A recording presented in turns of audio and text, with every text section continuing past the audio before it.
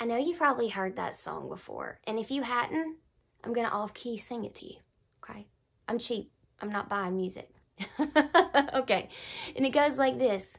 And it says, And when I fight, I will fight on my knees. Some, with my hands lifted high. There it is. Oh God, the battle belongs to you. When you go pray, how do you do it? Are, are you crying? Are you pleading? Are you, what is it? Is it begging? There was a time in my life when it looked like begging. Like begging, pleading. And listen, there are times that we need to approach God in that way. In that we need to understand how broken we are in that moment so that our weakness can meet his strength. Because when you're depleted of you is when God can really move. So don't think that I'm telling you that you've been getting it wrong. But in some cases, you probably have and I have too. So Hebrews 4.16 says it like this. It says, Let us then approach God's throne of grace with confidence. Lots of translations say it like this, and I prefer it. It says, So let us come boldly to the throne of a gracious God. There we will receive his mercy and will find grace to help us when we need it most. A way that I've learned to pray really pisses the enemy off. Yes, I'm cussing. Pisses the enemy off because, I mean, let's just be real, okay? And the reason that the enemy comes at you is already because A, you're God's child, B, God loves you. And for whatever reason, the devil can't stand that? And if you're God's child and the enemy's mad because you're God's child and because God loves you, all right? Then why would you approach the throne room as anything else but a child? Let me say it like this my my kids don't play, all right? And when my kids come to me, even if they know that it's extravagant, or even if they know that it seems somehow impossible, they don't approach me like that. It's just, I need this, or I want this. And God wants us to approach that way too. I've always loved that about my kids. That they don't approach me with the typical approach of a child. It's just they expect me to want to be good to them. They expect that if I got it, they got it. They just live in expectancy that it's just we got it. There were times that we didn't got it, but they believed that we had it. But God is completely the opposite. God always has it. And I need you to always remember if God has it, you have it. The Bible says it like this it says, Your father owns the cattle on a thousand hill. And I'm from a dairy farm, so that always spoke to me. A thousand hill of cattle is very expensive. A thousand hill of cattle, uh, depending on how you think about cows, they're pets to me, all right? And I'm just looking at a whole lot of cows to love. But it also is a sign of provision, right? you know, not only can you get milk from cows, you can get cheese from cows, you can get meat from cows if you, you know, eat meat and anyway, just so on and so forth.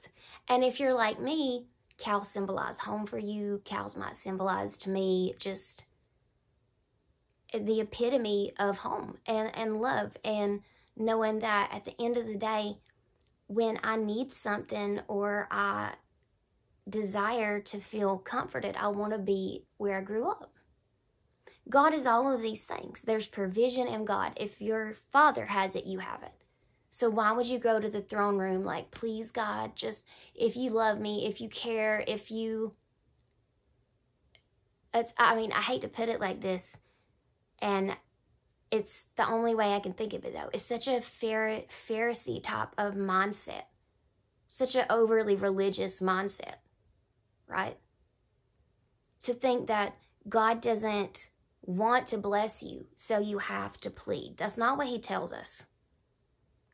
It's so clear that not only does he sympathize with us, because we're also told that we have a high priest who is unable to sympathize, who is not unable to sympathize with our weakness. We have one who was tempted in every way yet did not sin. So let us approach the throne with confidence. And I love that. Why? Why? Why? Why do you think about it? I mean, I'm asking you honestly. And I mean, I have to get honest with myself a lot. When I think of reasons I thought God wouldn't show up for me, it never had anything to do with God. It always had to do with people. People's um, projection of who God was, people's um, list of how you had to be for God to answer your prayers, so on and so forth. It's religious, it's trinkety, it's nonsense. And Jesus said none of those things. He said, Come unto me, whosoever. Let us approach the throne of grace with confidence. Let us approach it boldly. And I'm going to teach you how to do that, okay? It looks like this. So when I pray, this is how I pray. I pray like this. God, I know that you want to bless me. I live in expectancy of you. I expect good things from you. Thank you that I can expect good things from you. I thank you that it's already done. I thank you that I am favored. I thank you that I am blessed. I thank you that I'm safe. I thank you that I am healthy. I thank you that if you got it, I got it. And my daddy don't let me lose. And I know you're not going to let me lose. In Jesus' name, I thank you that I am already victorious. This is how I pray. This is how I pray. I pour my heart out to God, and that is conversation. But when I pray, I pray like this because I believe that there is so much power in that. There's a story of Daniel, and Daniel was not getting the miracle that he wanted. Daniel had fasted and prayed, and Daniel's prayers moved heaven, right? He was frustrated. But God comes and sends an angel to talk to Daniel. And he tells Daniel basically like this Daniel, I've had it ready forever. But the warfare in the air blocked the warring of the good and the evil. And I know that sounds very cliche. But the Bible says that we don't wrestle with things that we see. We wrestle with things we can't. Look at the world and the state of it, all right? The nonsense Everybody's on their bullshit. Sorry, but I mean, they really are. I mean, look at the war. Look at people not really caring about each other when there were shortages of things, like fighting over the toilet paper. Listen, I grew up on the farm. I got leaves. Y'all can have toilet paper. I'm Gucci, all right? You've got to get to a space where if the world looks that crazy, what do you think the spiritual realm looks like? Why do you think that the world's crazy? God already has your answer and He's already got your blessing and He's already got all the things that you want. And He told Daniel that it was His prayers that created this break in the clouds. It was His prayers that created this break in this spiritual space, almost like when Moses parted the sea, Daniel parted the spiritual atmosphere. And down came the answer. And if, if that's true, if Daniel approached boldly, because it takes a boldness to go into that. It takes a boldness to know that your prayers can change the atmosphere because they can. And God doesn't just change an atmosphere for me or for other people or for ministry people or God will change the atmosphere for whosoever. So my question to you is what is it that made you stop asking God like you could expect? What was it? And, and what place did you place that can't on God? All the places I can trace mine to when I felt that way was to people. I didn't trust people, therefore I had a lesser trust in God at a time in my life. But when I stopped putting any faith in people, I mean, that sounds crazy, right? People are going to fail you. I will fail you. People will fail you. God will not fail you. And you won't need me forever. You won't need other people forever. God desires for you to learn so that you can go and you can take it up directly with Him. He loves you like that. You don't have to come to somebody like me for the answer. God has your answer. And I know that sounds crazy, right? To put yourself out of business. I'm in the business of putting myself out of business because I'm about the Father's business, right? So if I'm focused on teaching you so that you can go and do it in your own life and you can teach somebody else, that's how we create a kingdom mentality. And that's how we go to war together. Yeah. So I hope that you put this into practice. I do. You're never going to see me fancily set up. That's not me. Listen, I go to God the way I am. I'm going to come to you the way that I am. Sometimes that's over the top, and sometimes that's, listen, I'm ready to go to bed. But I know that I know that if God has it, you got it. Just like my kids know if I've got it, they've got it. And they know that behind the if I've got it, they've got it is because mama believes that if God has it, I got it. And if I got it, they got it. So tonight I impart on you what I have. If God's got it, I got it. And if I got it, you got it. If I can expect good from God, so can you. I pray that you grow to the go to the throne room boldly. Quit going in there like a wiener.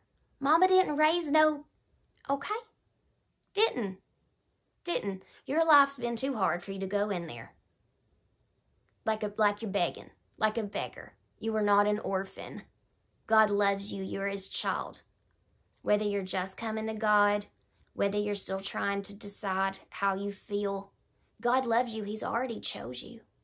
And you know that in the end you'll choose him anyway. And he knows. He knows.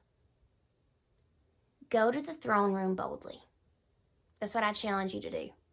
Go to the throne room boldly. It makes the enemy mad. And when he gets mad and starts showing himself in your life, I want you to do it more. And then do it more because the key to your warfare is that when you get knocked down, you get back up. Though a righteous man falls many times, he will get up more times than he falls. You've got this. And I don't want the, the term righteous man to throw you off. Don't let that throw you off. You love God, God loves you. Righteous man. And even though we become more like God over time, don't ever let anybody tell you that you're less than or that your life has led you to a space where you can't go like other people can. Or even if you've known God for one second, that you don't have the same type of authority that anybody else does. Because that's religion and that's a law. Go to the throne room boldly and watch God show out. Watch Him. Do it out loud. Makes the enemy mad. And at the end of the day, your job is not to please people, and your job is not to please the enemy. God loves when he's mad. God loves it. He does not desire that you fear the enemy. You should never fear the enemy. Do you not understand it yet? Have you do you not see? The enemy is terrified of you. Why are you terrified of him? Become the aggressor. And this is a great way to start. Become the aggressor in your spiritual warfare because you're going to have it whether you ask for it or not.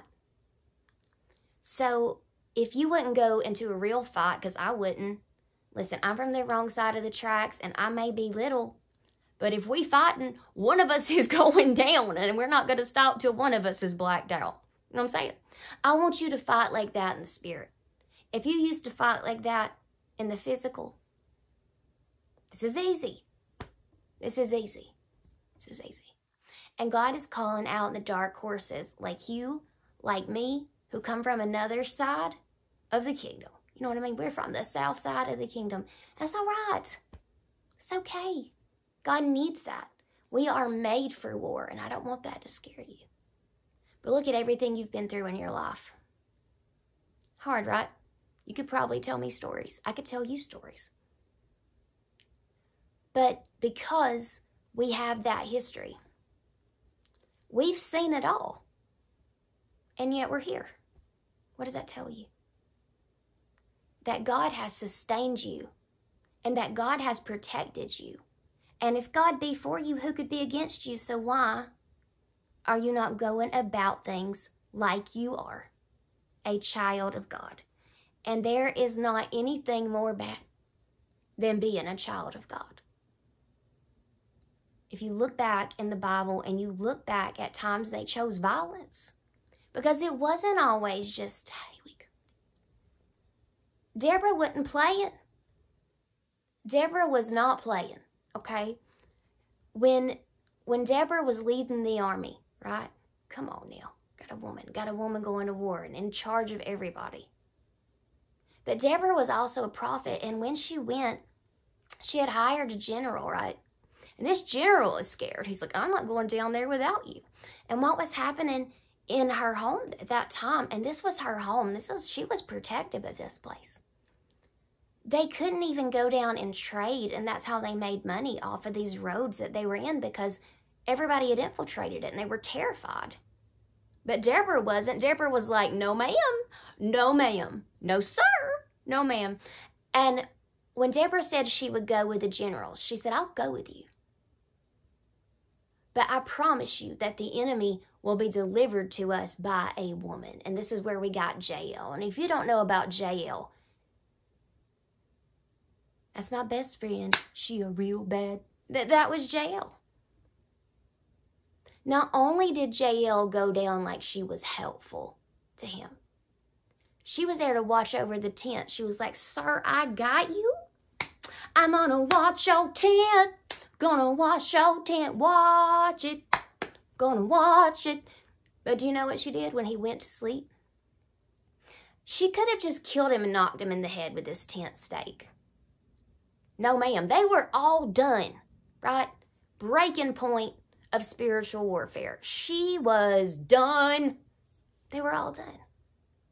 So Jael takes the tent stake and drives it through his temple and literally nails him to the ground. Hello? And you're going in there like, please? Go in there like Jael. Go in there and when you go into spiritual warfare, I don't mean hurt people. Don't ever hurt people. When you go into the spiritual realm, you got to choose violence in the spirit. I know that sounds crazy, right? But choosing violence in the spirit means something completely different than in the physical. Choosing violence means that you speak life. Choosing violence means that you don't let the enemy win. Choosing violence means no matter how many times you get knocked down, you get back up, you dust yourself off because you're a warrior and you're not going to let anybody do you that way. And I don't mean anybody, but any spirit. You're not going to let any spirit come through and ruin what God's trying to do. You bless people. You go about your day, okay, you don't like me, that's all right. God bless you. Go about your day, and then you handle it in the spirit with prayers like this. And I don't mean you handle the people. Because we don't ever deal with the people. We deal with the spirit of whatever's working through that person. So if somebody's slandering you, don't go in and ask God to do terrible things because he's not going to listen to you. Okay? That's crazy.